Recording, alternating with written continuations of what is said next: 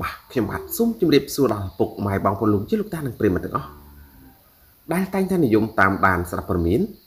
និងចំណេះដឹងផ្សេងផ្សេងតាមសង្គម YouTube ជាទីគោរពនិងជាទីមេត្រី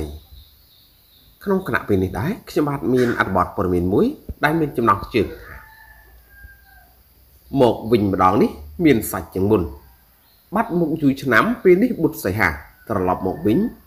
តែជាតារារបស់ ដូចដែលដឹងស្រាប់ហើយថាម្ចាស់ពៀន The Voice Cambodia តារាចម្រៀងបុត្រសីហាល្បីបានមួយឆាវក៏ស្ងប់ស្ងាត់ទៅវិញ ជាពិសេស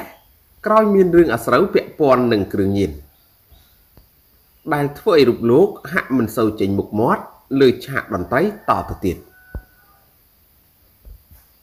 យ៉ាងណាមិញបាត់មុខយូរឆ្នាំទៅហើយ ស្រាប់តែពេលនេះតារាចម្រៀងរូបនេះបែរជាប្រកាសខ្លួនវិលត្រឡប់មកវិញ ជាមួយនឹងបទចម្រៀងថ្មីប៉ុន្តែម្ដងនេះ ជាតារាចម្រៀងឯករាជ្យវិញម្ដង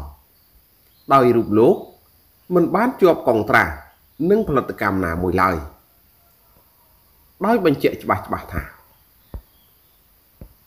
សូមជម្រាបជូនបងប្អូនទាំងអស់ថាខ្ញុំមានតែ account Facebook page នេះតែមួយគត់ក្រៅពីហ្នឹងគេលួចយកពីខ្ញុំ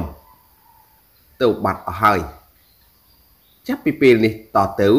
ខ្ញុំអត់មានជាប់កងត្រានឹងផលិតកម្មឬច្រៀងឲ្យផលិតកម្ម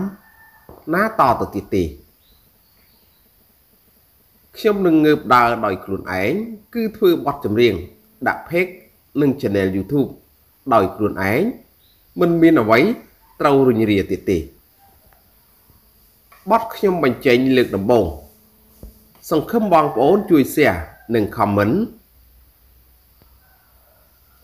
ត្រេកអរដោយរីករាយជួបគ្នាឆាប់ឆាប់ហ្វេនហ្វេនជាទីស្រឡាញ់ជួយ share ម្នាក់មួយផងដោយក្តីគោរពបាទហើយអត្ថបទព័ត៌មានដែលខ្ញុំបាទបានជម្រាបជូនខាងលើនេះក៏មានតែប៉ុណ្ណឹងសូមអរគុណសូមជម្រាបលា